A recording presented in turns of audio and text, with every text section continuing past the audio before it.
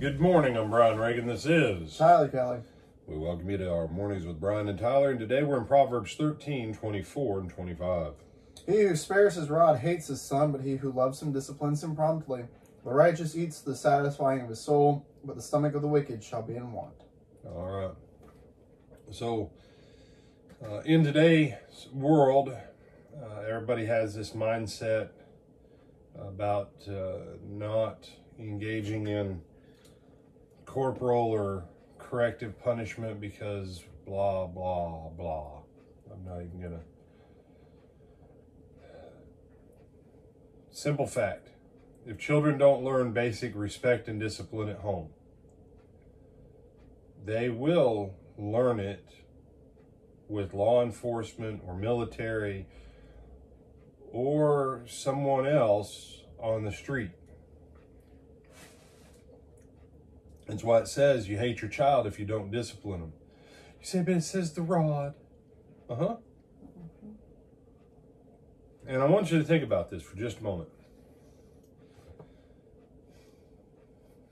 Rod was about yay big around ish, give or take.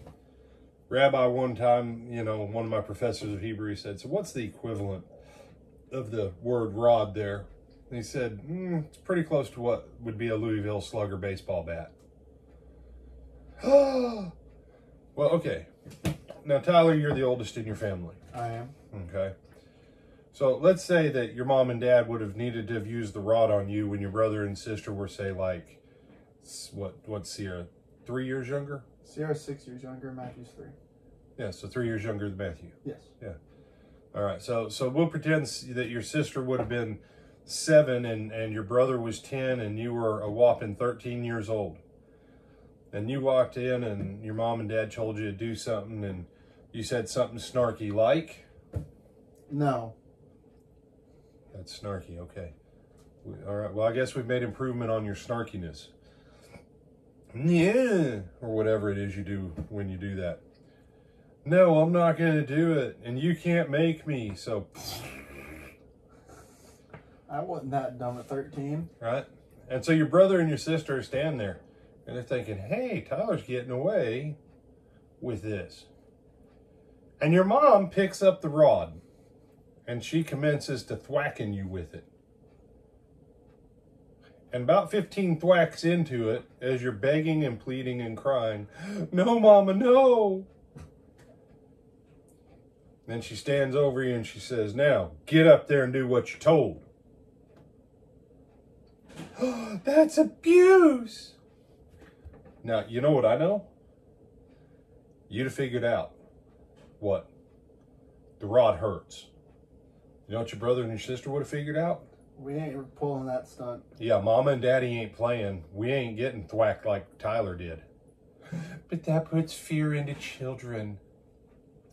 And you think when tear gas and CS gas and pepper gas and riot gear and batons and tasers and rubber bullets and shotgun shells and and you don't think any of that stuff doesn't hurt?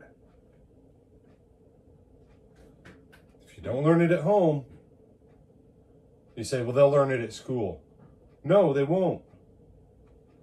One teacher, 30 kids. No. The only place left for them to learn it is is is somewhere else. But the same kid that learns, you know, be obedient.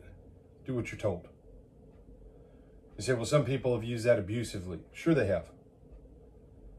But as I look around our, our nation and I look at all the places where people have not been disciplined, and now the whole society is ripping at the seams,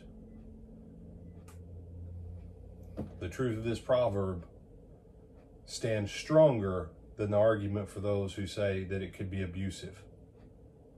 Mhm. Some abusiveness on this side, or an entire civilization falling to pieces on this side.